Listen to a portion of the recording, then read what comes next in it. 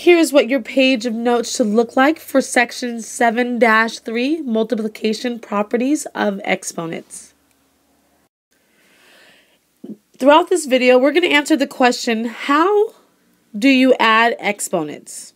Or better yet, the question should be not how, but when. So let me cross that out. That was incorrect. It should say when. When do you add the exponents? Go ahead and pause the video and write down the entire slide. Then begin the video when you're ready to follow along with the lesson. Okay, I'll assume that you paused the video and now I'm going to go through um, these different bullet points. Now this slide is important because we're going to be simplifying expressions with many exponents and coefficients. And you need to simplify it to the most simplified form. And in order to do that, you cannot have any of these any of these expressions left in your final answer. So let's go through it, and I gave you examples of each type. There cannot be any uh, negative exponents. So if you had like 5 to negative 2 power, it's negative. You need to make it positive exponent. Remember, you have to make it happy. Uh, the same base does not appear more than once in a product or quotient. That means that you can't have 2 to the squared and 2 to the 6 in your final answer. Since they're the same base, you can combine them, so you still have one more step to complete. No powers raised to powers, so no having extra exponents. You can still simplify here, and I'll demonstrate how to do that. No products are raised to powers, so you can't have 3 multiplied by x here raised to another power because you can still simplify it further. And I again will demonstrate how to do that through various examples. No quotients are raised to power, excuse me. no quotients are raised to powers, so that means no fractions. Quotients are uh, called fractions here, like 1 half, can't be raised to a power. And also this is negative, so I would have to make it positive and get rid of the, the exponent by simplifying the expression. And the last part, a lot of students make mistakes on. All constants are reduced and simplified. So when if I had 4 and 12 here, I can reduce and simplify 4 12, but I can't reduce the variables. So I would just have to do the uh, the coefficients 4 and 12 first, and then I would be done. Okay, make sure that you keep this and you'll need to refer to this multiple times if you're ever um, if you ever can't decide if a expression is simplified. Now it's time for us to answer that question. When do you add exponents? Here I have 6 to the 7th multiplied by 6 to the 4th. Notice that the bases have to be the same. So you might want to write a note.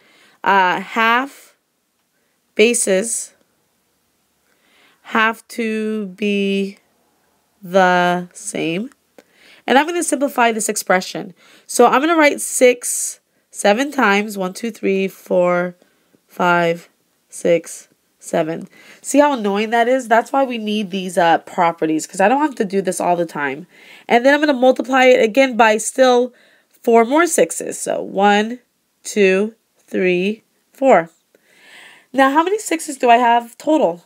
Well, let's count. We have 1, 2, 3, 4, 5, 6, 7, 8, 9, 10, 11. So this is technically 6 to the 11th power. Do you think there's a simpler way for us to get that answer? Well, hopefully you notice that 6 to the 11th is the same thing as 6 to the 11th power is the same thing as 6 to 7 plus 4. And 6, 7 plus 4 gives us the 11th power. So this would have been our final answer in simplified form. So we add the exponents when we multiply, when we multiply the bases. Okay, so that was the first property learned. If you're having a little bit of difficulty, make sure to rewind and replay this information. Now that we know the property, let's apply it. Remember, whenever you multiply same bases, you're going to add the exponents. So here, for part A, I have 3 squared multiplied by 3 to the 5th. That would be 3 to the 2 plus 5, which gives us our final answer as 3 to the 7th power. And you don't need to expand it. That means you don't need to multiply 3 to the 7th power. Um, For our class, our rule is if it's 3 to the 4th, or excuse me, anything to the 4th power or less, you need to evaluate that. Okay, let's look at example B. Remember, and I put a note at the bottom, it must have the same base to combine exponents. So if they don't have the same base, you don't need to combine them. So I'm going to rewrite with the same bases, 2 to the 4th times 2 to the negative 2 power.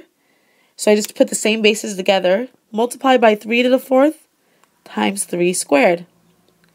Now combine, I get 2 to the second power here, because 4 plus negative 2 is 2, multiplied by 3 to the 4th times 3 squared is 3 to the 6th power. And since 2 to the squared power is less than, um, since the exponent is less than 4, I can simplify that and I get 4 times 3 to the 6th power. And that would be my final answer. Okay, let's look at part C. Remember, they have to be the same base, so I don't combine the r squared. I'll just combine the q to the third times q to the sixth, and then r squared is off by, by itself. q to the third, so it's 3 plus 6. 3 plus 6 is 9, so it's going to be q to the 9 power. Make sure we know those are q's. q to the 9 power, and then I just keep r squared by itself, since there was no other base to combine it with. And let's see if we got d. Now, notice how the last n has no exponent, but there is something there. It's just invisible. That's going to end up being into the 1 power. So don't forget that. So I'm going to go ahead and re just adding my exponents into the, oops, excuse me, 3 plus negative 4 plus 1. Okay, well, 3 plus negative 4 is negative into the negative 1 and negative 1 plus 1 is 0. So this ends up being into the 0 power. And any number to the 0 power is always going to give me 1 as my final answer. Okay, so once again, try these examples on your own. Look for some extra ones in your textbook.